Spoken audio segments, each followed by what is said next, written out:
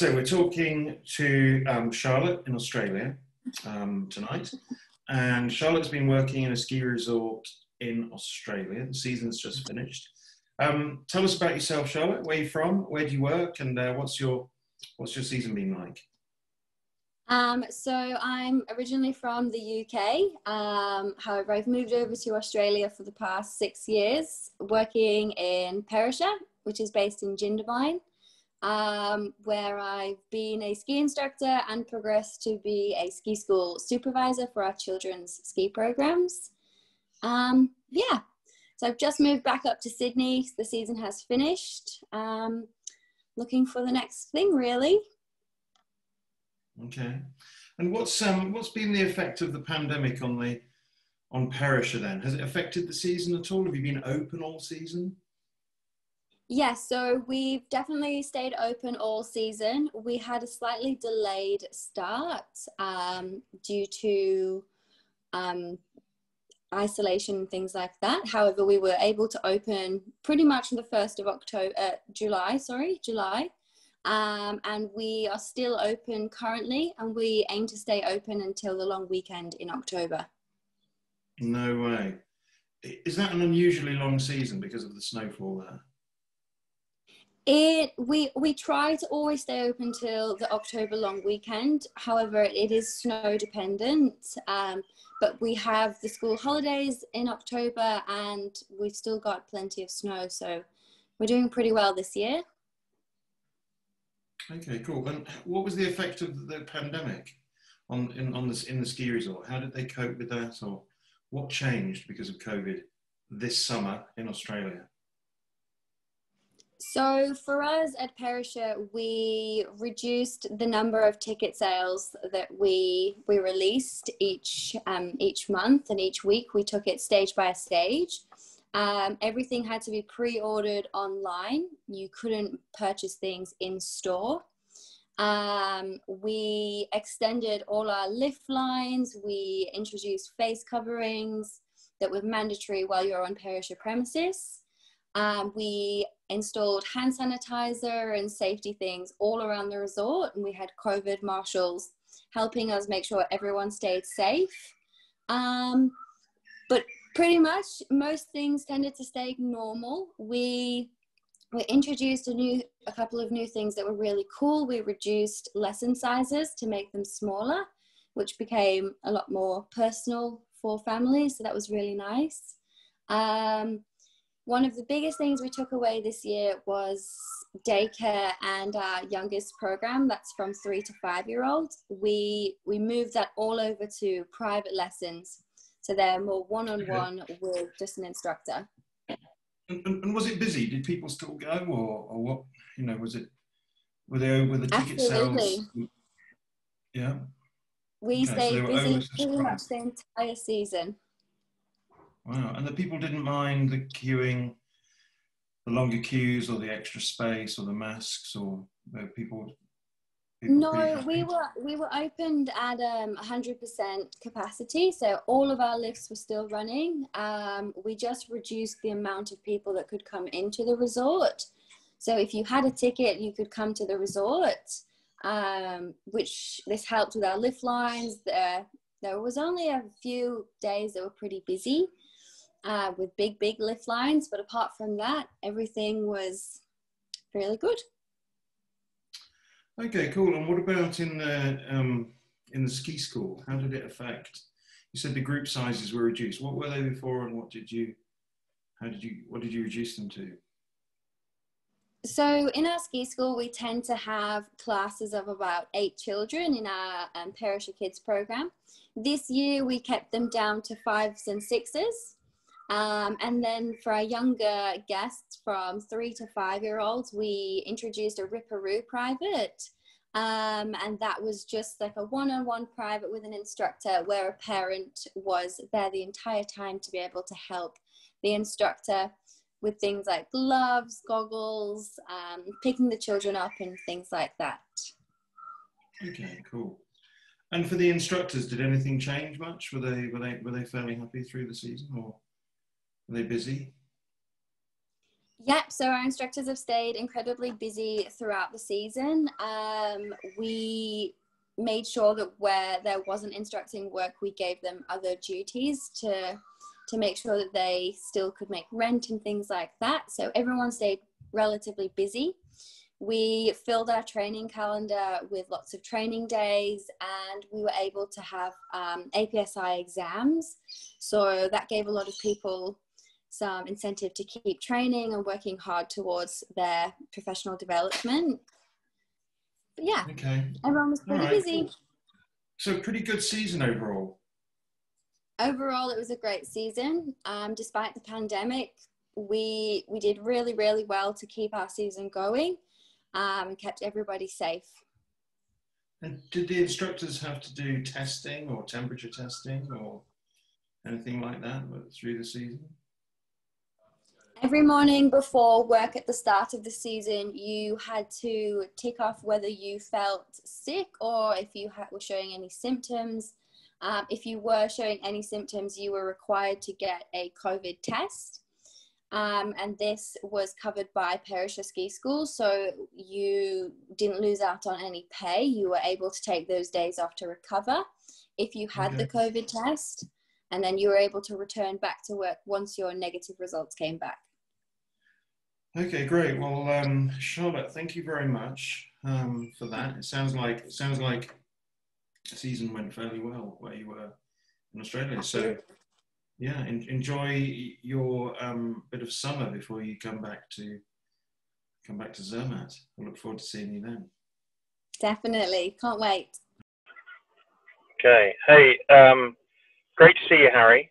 Um, just for the people, for the viewers, who just introduce yourself. Tell us a little bit about who you are, where you are, and um, the New Zealand season that's just that's just finished. Is it still going in New Zealand, or have you, is, it, is it all closed now? Still going. Still going. You're still Yes. skiing in New Zealand. Yes. Okay. Yes. Go for it. So who's who's who, who's Harry McFadden? Awesome. Thanks, Julian. So my name's Harry McFadden, and I work uh, for the Rookie Academy in New Zealand, which is a ski training company. Uh, I'm a trainer and examiner for the NZSIA, the New Zealand Snow Sports Instructors Alliance, and I'm a member of the New Zealand Technical Team, which is a team of ski instructors that work throughout snow sports schools uh, in New Zealand, training and developing staff and uh, ski instructors to be uh, better. And I know Julian because I spent three years in Verbier uh, between 2012 and 2015. Working for ES. Yes, Yeah. working for ES exactly, and it was a great time. um, Great time. happy times. Yeah. Cool. So how how has the season been in general in New Zealand? So the New Zealand ski season has been very, very interesting. Uh, it opened. Cardrona usually opens first weekend of June, and that's the main kind of ski resort in the Southern Lakes region, which is where I live, second bottom half of the South Island. And they opened late because they did not have as much time to do summer maintenance as uh, New Zealand was in lockdown for April and May. And we were all very nervous. We had no idea what was going to happen. We were told that potentially no one was going to get any work. Uh, the resorts were going to be very quiet. You know, there was just going to be nothing on. And the resorts potentially might only be able to open weekends. It was all very doom and gloom. And then what happened was is on the 26th of June, uh, the mountains opened, the people came, and it didn't stop. It did not stop. It was one of the busiest, craziest starts of the season ever. The, July 2020 was 5% up on skier numbers from July 2019, which was un- unbelievable start. Wow. And what about the rest of the season? Did it stay busy? it stayed it stayed very busy consistently up until about a week ago and now it has quietened down a lot we had a slight hiccup in august when we had a uh, unfortunate covid flare up in auckland but uh, it still stayed reasonably busy because there were a lot of families that actually decided to come for the whole season. There were a lot of families who learnt through uh, working during the lockdown that they could work and communicate with their businesses over email, Zoom, etc. So they realized that living in the mountains would be a really nice thing to do, especially after the kids maybe have been cooped up in an apartment in central Wellington or something like that for uh, a few months. And they came down, and there's been a lot of kids and full season programs. I mainly work on adult advanced camps, so five day adult ski improvement camps up at Treble Cone for Rookie Academy. And uh, they have been, we thought we were going to have no, very few numbers. And this year, and they've been very busy with people doing multiple weeks, and it's been really good. Great. And how did the COVID affect the operation of the ski resort? Hmm. What changes did they make on the hill to cope with the pandemic? Okay, so at the start of the season, as you guys probably have seen because it was shown all around the world, New Zealand was COVID free at the start of the season. And everyone completely relaxed and went completely back to the old normal, you might call it. And unfortunately, somehow COVID slipped through the cracks and there was quite a serious outbreak in New Zealand. And Prime Minister Jacinda Ardern brought in some serious restrictions for any uh, large gatherings, which ski resorts fell into. So the ski resorts closed for one day and they implemented the COVID plan, which the Ski Areas Association of New Zealand, which is a board of which all the major ski areas are members of, they had created for if COVID was around when the mountains actually opened. So they implemented these rules, which I can send through to you, Julian, so you can see. But what they did was is they worked out ski resorts are naturally socially distanced. So the actual act of skiing around the mountain is very safe and everyone's covered up. But then they worked on potential choke points, you might say, like lift ticket queues, going into cafes and restaurants, and the queues for lifts itself and buses because in New Zealand we bus to the mountain or drive to the mountain. We have very little accommodation on resort. There's one hotel at Cardrona, but that's it. And they distanced everything in the lift ticket in the queues to buy lift tickets. The cafes, you had to scan in to the cafe with the uh, New Zealand COVID Tracer app, and they were limited to 100 people per cafe with one door in, one door out.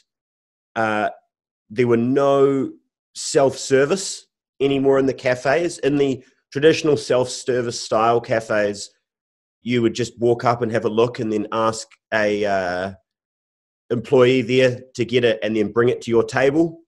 So, and then the on mountain restaurants were pretty much the same because you're used to having table service at those. However, the tables were further spaced and the uh, you had to queue at the door at a distance, and then they would come and get you and bring you in and sit you down.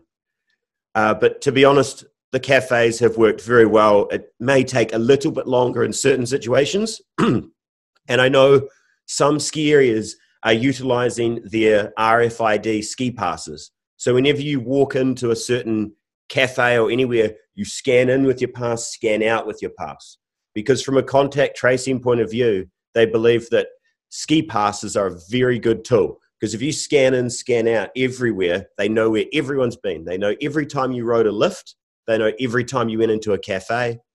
So that's how they managed the people tracking, you might say.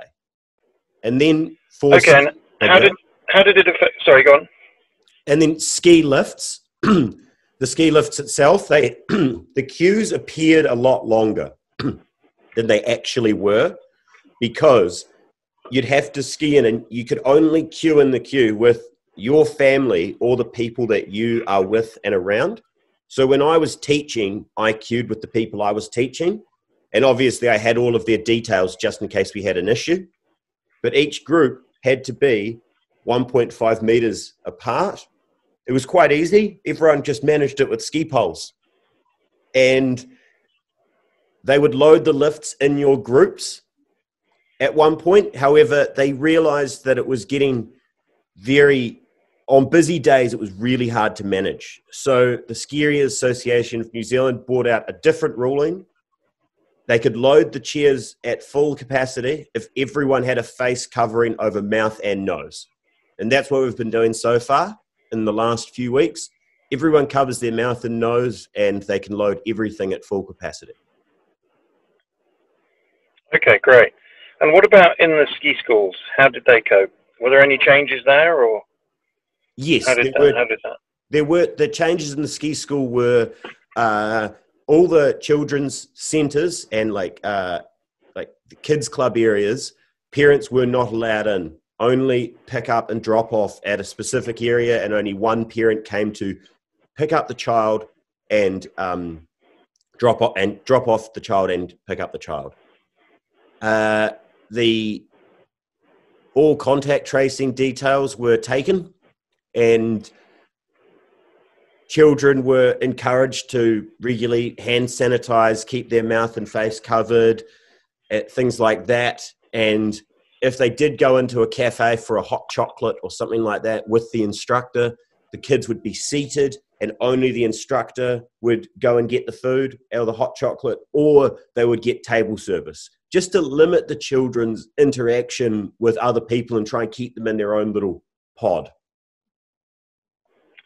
Okay, great. So overall, it doesn't sound like COVID has had much of an effect beyond that that you might have going into a regular shop in, in London or Geneva or in Verbier. It sounds like basic social distancing, but you've actually had a really busy season.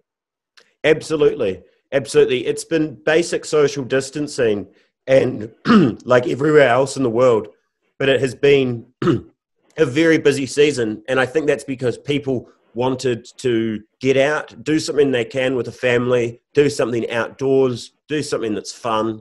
And yeah, the thing that they landed on was skiing. A lot of Kiwis, they don't want to travel uh, a long way, but they would drive to, they'd drive from the North Island, take the ferry like you would from the UK. We don't have a tunnel, but we have boats.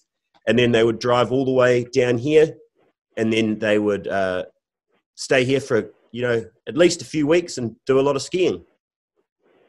Great. And that journey, I mean, I've done that journey from from um, Christchurch to to Auckland, and it's it's a long way, isn't it? The ferry is what an hour and a half or an hour and a bit. The Picton Fer- ferry. fer- ferry's two hours, and Okay. yeah, I did it uh, earlier in the year, and it's a two days. If you want to drive from Auckland all the way to Wanaka or Queenstown, it's good two days of driving. Yeah. Yeah. Okay. Cool.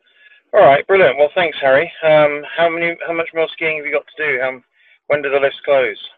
Uh, so today is actually official closing day of Treble Cone. However, the snow is so good, they've already come out and said they're going to open next Friday, Saturday, Sunday. And Cardrona uh, open at this stage for another three to four weeks. Cardrona stays open a long time. They just keep going. Wow. Yeah, Great. Well, south um, facing and good snow, so it just they just keep it going. That's great. Well, that's cool. That's surpri- surprising to learn that it's had so little effect. As I'm sure you know, I think you actually were in Verbier when you when we closed, or you were you were coming. No, We I was I was weeks of the season. I was there. Yeah. Yeah. All right. Well, I don't think that's going to happen again this year, but it's been really interesting to talk to you about New Zealand and enjoy what skiing if you have left. Have you have you taught your last lesson yet, or are you uh, are you done for the season, or are you still working? I'm not too sure. I may have taught my. I've taught my last scheduled uh, lesson.